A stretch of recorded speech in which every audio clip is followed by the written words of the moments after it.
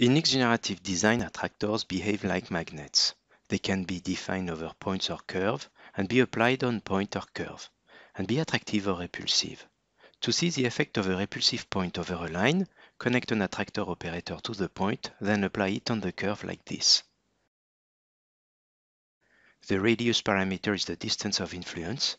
The displacement parameter is the maximum deviation when the attractor is very close to the target but not on it.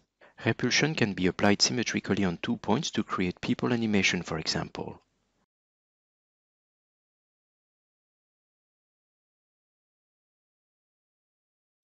And it can be cumulative like in this model to automate the routing of cables with no collision.